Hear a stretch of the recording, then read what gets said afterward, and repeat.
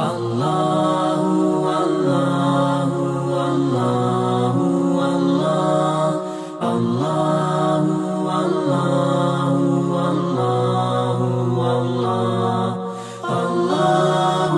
الله الله الله الله الحمد لله رب العالمين وأصلي وأسلم على سيدنا محمد وعلى آله وصحبه أجمعين وبعد U 53. majtu sura Jusuf kaže Allah subhanahu wa ta'ala Oma uberrihu nefsi inna nefse le emmaratun bis su'i illa ma rahime rabbi inna rabbi gafurur rahim Ja ne pravdam svoju dušu. Doista je duša ona koja voli da naređuje zlo. E, ovom ajetu Allah subhanahu wa ta'ala ukazuje nama da je čovjek ima jednog skrivenog neprijatelja u sebi. A to je njegova duša, njeni prohtjevi. O toj duši u 40. majicu sura Nazijat kaže Allah subhanahu wa ta'ala وَأَمَّا amma خَافَ مَقَامَ رَبِّهِ وَنَهَا wa عَنِ الْهَوَى فَإِنَّ الْجَنَّةَ fa الْمَأْوَى. A onaj ko se bude bojao stajanja pred gospodarom svojim i svojoj duši spriječi njene prohtjeve, kaže Allah, tom će džennet boravište biti. Čovjek koji je svjestan da će jednog dana stati pred svog gospodara odgovarati za svoje, djela, za svoje djela.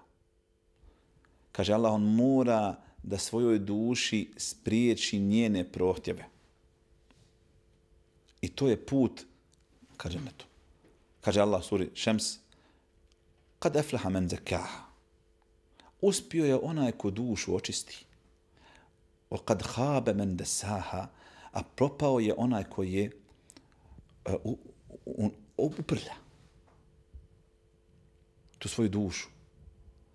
Zato čovjek na ovom svijetu mora biti svjestan da udovoljavanje duši i njenim prohtjevima nije put ka džennetu, nego put koji vodi od Allaha. I u ajetu koji smo na početku citirali, Allah koristi riječ emare. A to, ta riječ u arapskom jeziku ukazuje na to da duša voli da puno naređuje zlo. I zato čovjek mora da se pazi te svoje duše. I da pokuša da njene prohtjeve suzbije. I da ih uputi ka zadovoljstvu E, Allaha subhanahu wa ta'ala. Mi živimo u društvu i u vremenu u kojem su se ljudi odali strastima. Do te mjere da Allah kaže da čovjeku njegove strasti mogu biti njegov Bog. Pa kaže gospodar uzvišeni, Ra'ejte meni tehada ilahehu hewa. Jesi li vidio onoga ko je sebi za svog Boga uzeo svoje strasti? Čovjek robuje sam sebi na uzubila. Sam sebi.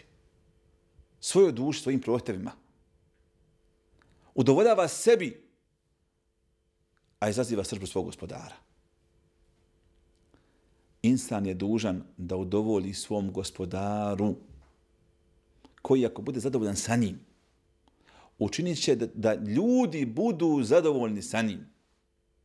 Ako rasrdi svog gospodara, tako što će zadovoljiti, udovoljiti ljudima, a rasrditi njega, Allah će se rasrditi na njega i učinit će da drugi ljudi se rasrde na njega.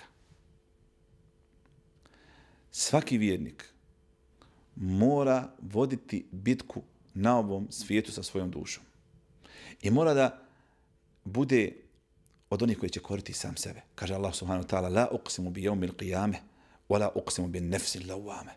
Kaže, kunijem se sudnjim danom i kunijem se dušom koja sama sebe kori.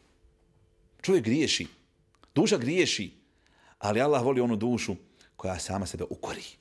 Kada pogriješi, kada se vrati svom gospodaru, kada su upaleni senzori koji ukazuju da, da nešto nije u redu, pa čovjek popravi taj kvar koji se pojavio na ekranu i onda doživi kraj.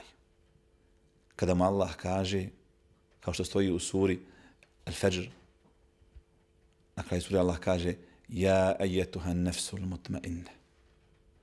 O ti smirena dušo, irđi'i ila rabbiki radijeten merdije. Vrati se gospodaru svome zadovoljna. I Allah je s tobom zadovoljan. Fedhuli fi ibadi, uđi u moje robove.